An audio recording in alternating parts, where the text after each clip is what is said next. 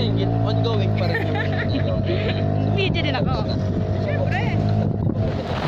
Hindi naman po pinamadali po ang pagkagawa ng simbahan dahil gusto po kasi may-ari po nitong resort ng simbahan po yung maging pinakamagandang building po dito. Ah, okay. Sa ngayon, sa labas yung medyo gawa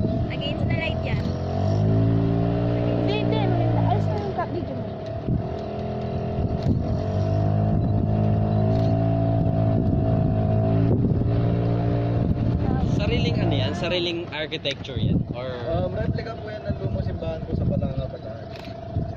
ay yung ano, yung katedral. Smile. Picture mo kaya? Ano muna? Kalma lang muna yan. No. Kalma lang tayo. Smile.